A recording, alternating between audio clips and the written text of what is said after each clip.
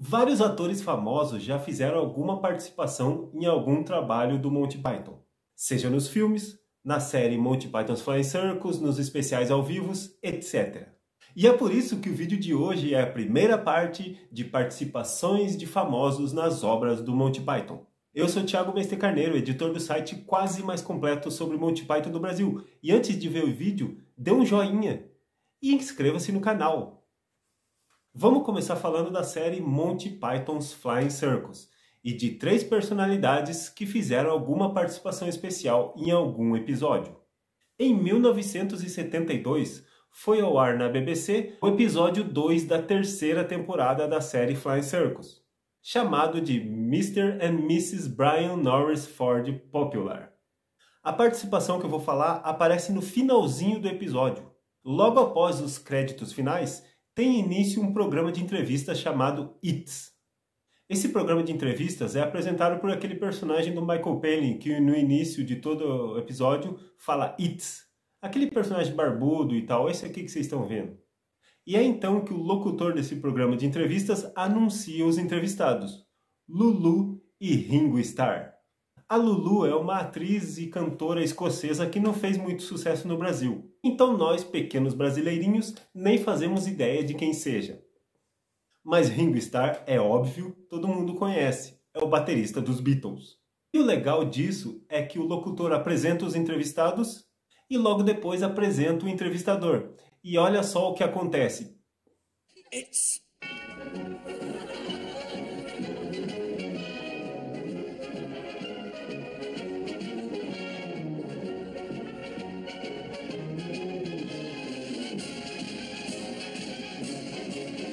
A outra personalidade que aparece na série Flying Circus gera muita polêmica. O seu nome? Douglas Adams, o criador da série de livros O Guia do Mochileiro das Galáxias. Inclusive, por causa dessa participação, muita gente acha que o Douglas Adams fez parte do Monty Python. John Cleese, fala para nós, Douglas Adams fez parte do Monty Python? O que acontece é que o Douglas Adams apenas coescreveu um esquete para a série Flying Circus, que ele coescreveu junto com Graham Chapman. Mas ele também fez uma pequenina participação, que é nessa cena. No filme A Vida de Brian, temos três participações de famosos, e a primeira delas é Jesus. Não, não Jesus, o Filho de Deus, mas o ator que interpretou Jesus, Kenneth Coley. Vocês estão vendo a foto dele, mas com certeza não estão reconhecendo porque ele está sem uniforme. Vejam agora a foto dele com uniforme. Sim, o ator que interpretou Jesus em A Vida de Brian também interpretou Almirante Piet na saga Star Wars. O Monty Python foi criado em 1969, mas antes disso, quando os membros ainda eram crianças e adolescentes, eles gostavam muito de escutar um programa de rádio esse programa se chamava The Goon Show. Um dos membros desse programa era o Spike Milligan, que os membros do Monty Python eram muito fãs e tinham um sonho de conhecê-lo, mas eles nunca tiveram a oportunidade. Durante as filmagens de A Vida de Brian na Tunísia, os membros do Monty Python receberam uma mensagem dizendo que um cara que eles queriam muito conhecer estava passando as férias na Tunísia. E olha só que legal, era o Spike Milligan, foi nesse momento que aquela lâmpada apareceu na cabeça de todos os Pythons e eles tiveram a ideia de convidar o Spike Milligan para fazer uma participação em A Vida de Brian. E ele topou. Olha a participação que Spike Milligan fez no filme A Vida de Brian.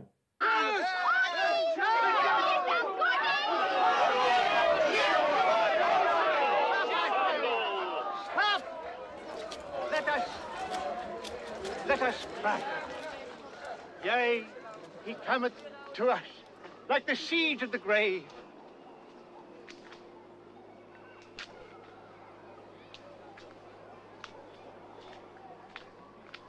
A Vida de Brian ia ser produzido pela EMI Films.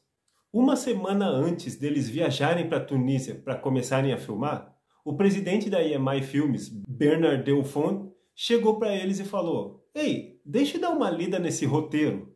O Bernard leu o roteiro do filme A Vida de Brian e falou: Vocês estão loucos que eu vou fazer esse filme. Eu não vou dar dinheiro para vocês fazerem um filme que se passa na época de Jesus, uma comédia. Que história é essa? Vão me crucificar. Acabou o dinheiro. Então, sem dinheiro nenhum para o filme, os Pythons se reuniram novamente e se perguntaram entre si: A gente conhece alguém que é rico? Foi então que o Eric Idle falou: Bom, eu conheço o guitarrista dos Beatles, George Harrison. Ele é rico, eu vou pedir dinheiro emprestado para ele. O Eric Idle foi lá falar com o George Harrison e o George Harrison falou: Deixa eu dar uma olhada nesse roteiro. O Eric Idle falou: Pô, de novo. Ele também não vai querer fazer esse filme. Foi então que depois de ter lido o roteiro, George Harrison falou: "Eu quero assistir esse filme. Toma aqui todo o dinheiro que vocês precisam. Produzam logo. Eu quero ir no cinema assistir a vida de Brian." E deu dinheiro para o Monty Python e financiou o filme e o filme foi para os cinemas. E como forma de agradecimento, o George Harrison faz uma pequena participação em A Vida de Brian, exatamente nesta cena. Let's have the on Sunday. No. Por falar em George Harrison, em 2002, a viúva dele, Olivia, e o filho Danny organizaram um memorial em sua homenagem, que ficou conhecido como Concert for George. Várias pessoas participaram desse memorial, como Paul McCartney, Ringo Starr, Eric Clapton e mais um monte de músicos. Ah, e o Monty Python também foi convidado para participar e fazer a sua homenagem. Em certo momento da homenagem do Monty Python, o apresentador Michael Palin fala que não queria estar apresentando aquele memorial. Ele queria ser. A lumberjack! Então os policiais da guarda montada canadense entram em cena e começam a cantar The Lumberjack Song. Ué, mas você contou essa história toda aí por quê? Eu contei toda essa história apenas para falar que um dos policiais da guarda montada canadense é ninguém mais, ninguém menos que Tom Hanks. No filme O Sentido da Vida, de 1983, temos o segmento Morte, onde um grupo de pessoas que está reunido numa casa para jantar recebe a visita da morte. Yes? Is it about the hedge? Quando a morte é convidada para entrar na casa, a gente vê alguns casais em torno da mesa. Um desses casais é composto pelos atores Simon Jones e Terry Jones. Mas quem é Simon Jones? Simon Jones é um ator britânico que ficou mais famoso como Arthur Dent da série do Guia do Mochileiro das Galáxias, de 1981. E essa foi a primeira parte de famosos que fizeram alguma participação em algum trabalho do Monty Python. Vocês gostaram do vídeo? Então deem um joinha e inscreva-se no canal. E até a semana que vem com a parte 2.